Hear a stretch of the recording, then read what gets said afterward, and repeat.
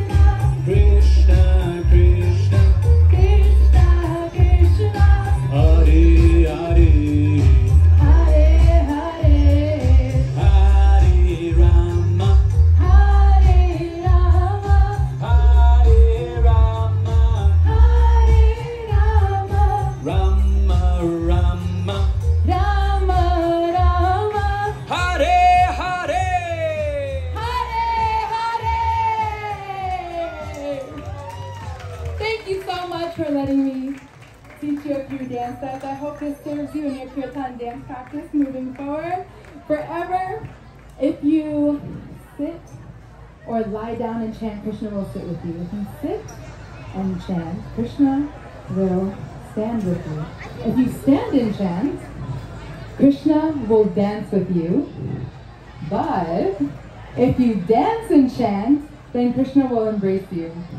Best of luck to the rest of your spiritual journey, New York. Thank you so much for having us.